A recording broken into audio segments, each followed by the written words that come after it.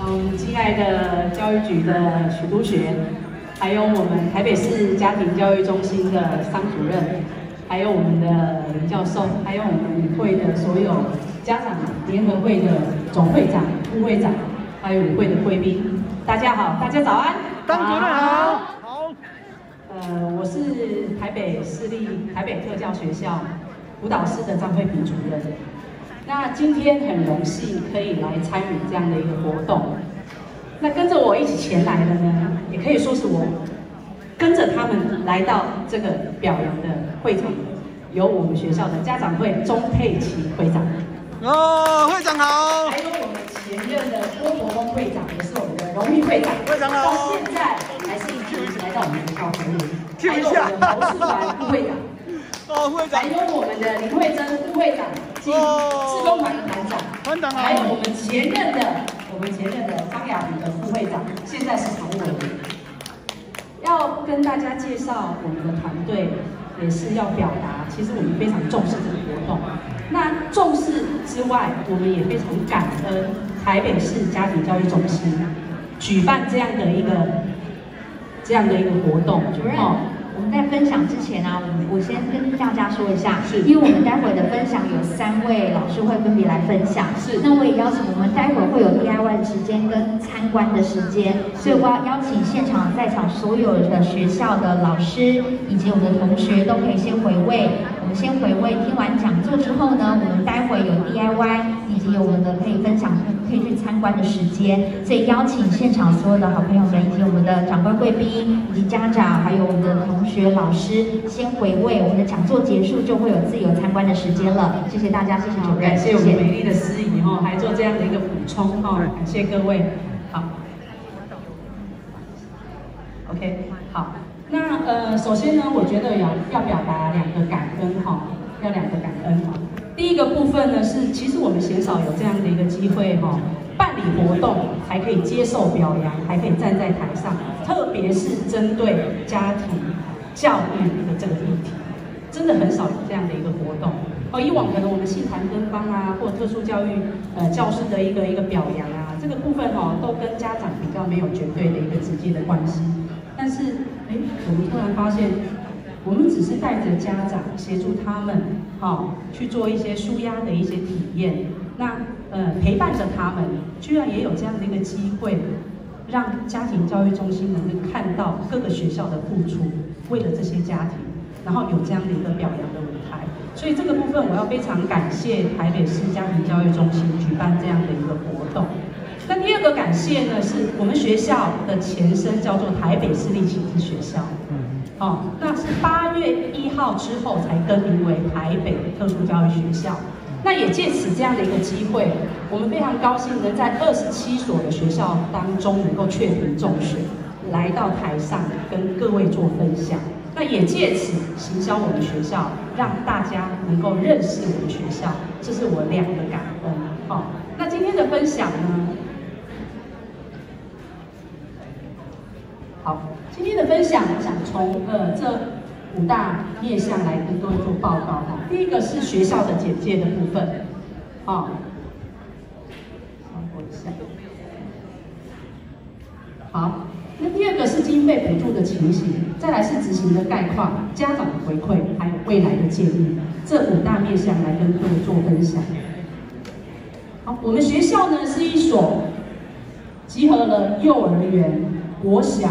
国中、高职四个学程的特殊教育学校，那学校里面的孩子的障碍类别有自闭症、多重障碍、肢体障碍、脑性麻痹、智能障碍、多重障碍，还有需侵入性医疗的这些孩子。那大家很难想象，在这么多障碍类别的呃特殊教育学校当中，我们是怎么样在辅导孩子？跟各位报告哈，可能在小学、国中、高中端。你们如果了解的话，辅导式服务的心理智商的部分对象一定是孩子，但是在我们学校来讲，其实主角是家长，很不一样。哦，我们的孩子受限于认知功能的关系，所以多数有需要做临床心理智商的，其实是比较偏重于像情绪行为的一些孩子。但是其他的一个孩子的部分受限于认知功能，我们是比较难用心理智商的角度去帮各位孩子做这样的一个服务跟辅导。但是我们的家长就非常需要，大家可以想象，生了一个这样的孩子，从接纳、接受到可以开放自己，带着他们走出户外，那是多么困难的一件事。所以我在辅导师这几年的过程当中，其实陪伴我们的家长走了这一段路，我觉得非常感佩。好，所以我们这个活动对他们这些家长来讲，相对格外的有意义。好，所以这个是我们学校的一个呃基本的一些概况。好，那再来。这三年当中呢，我们所接受到家庭教育中心的经费哈，大概是这样的一个情况哈，从四万多到六万多，哦，将近七万不等这样的一个这个经费。那这个经费的运用上，我要再次感谢家庭教育中心，因为我们组长啊，在执行这样的一项任务的时候，一直跟我讲，主任呐，这个经费真的弹性非常的大。你像我们要带家长们出去参与一些活动，需要车资、车费，需要门票、保险、午餐，还有一些相关零零总总的费用，我们很难在其他的专案里面可以去申请到这么具有弹性的这样的一个项目。但是家庭教育中心做到，哦，所以我们在跟家庭教育申请这样的一个经费的时候，还有执行核销的时候，其实在应用上，我觉得家庭教育中心。的承办人员给我们非常大的支持，所以我们能够非常有灵活度的这样的一个角度去应用这样的一个经费。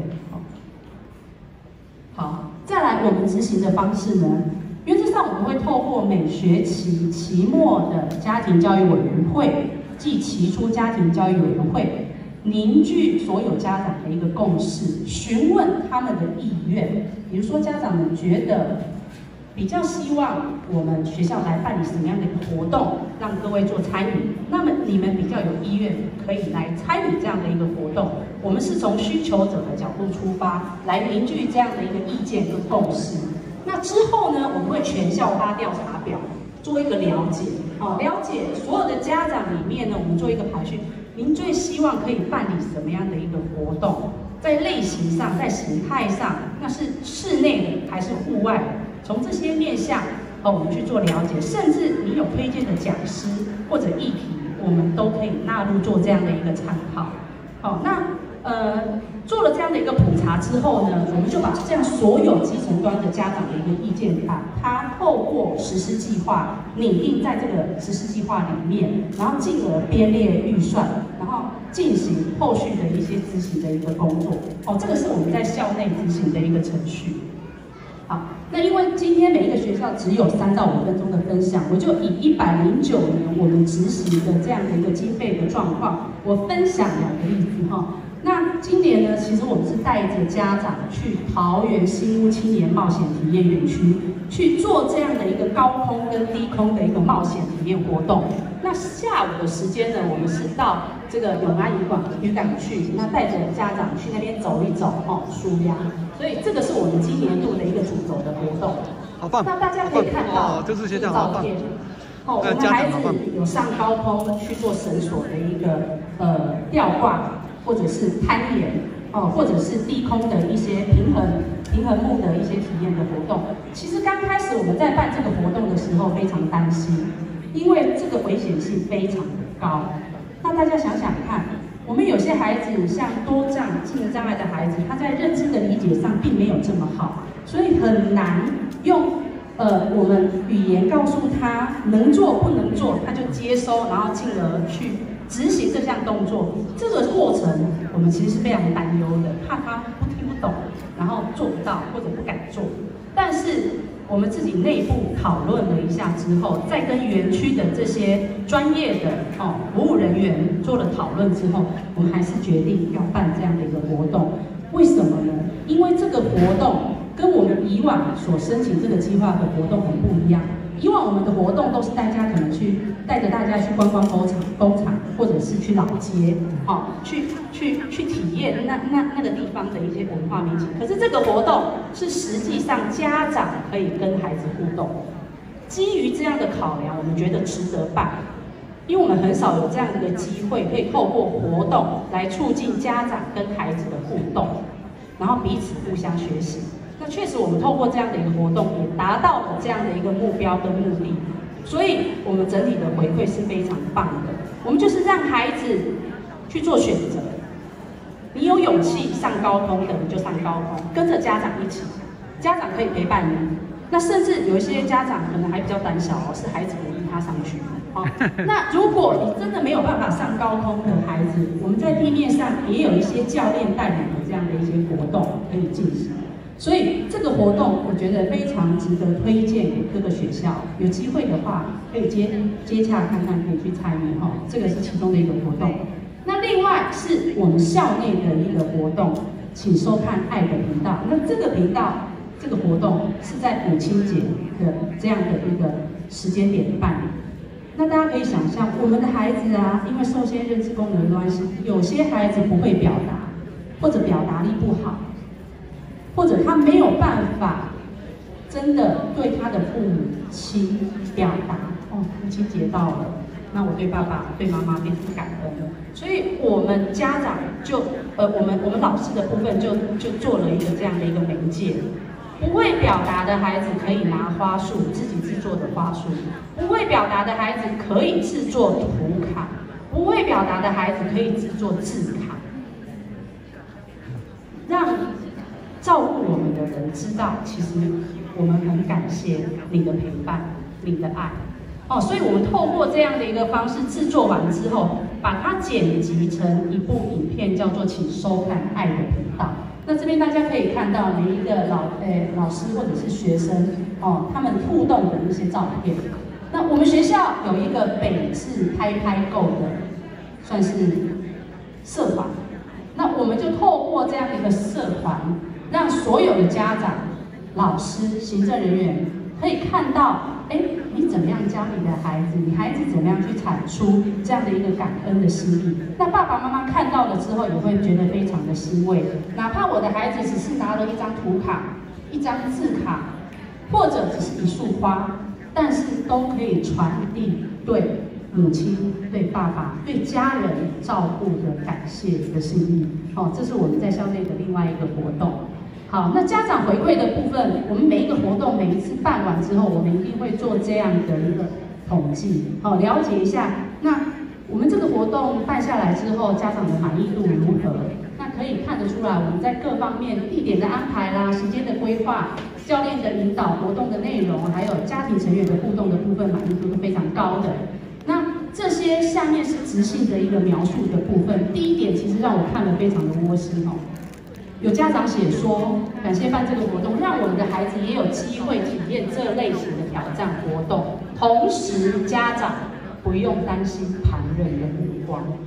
这个也是我要借此机会呼吁各位的，因为这样的孩子要带出去跟外界啊，我们去做这样的一些互动，或者去参与社会上的一些活动，其实非常不容易。所以我们学校也有办全校性的。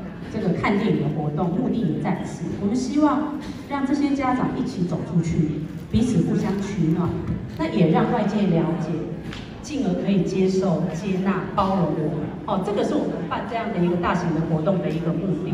哦，那每一项的这个执行的一个叙述，都表达了对学校端或者是诶对呃园区在举办这样的一个活动执行上的一个感谢之意。哈。那未来建议的部分，其实我们也已经做了相关的一个调查。那家长会比较希望我们继续来办类似无障碍旅游，或者是情绪管理与压力调试，或者是舒压手作的这个课程。那我们也会把这样的相关的理念的意见纳入我们年度的一个实施计划当中去做参采，以以备于未来之后的一个执行。好，那以上感谢各位的聆听。谢谢。谢谢。接下来要欢迎。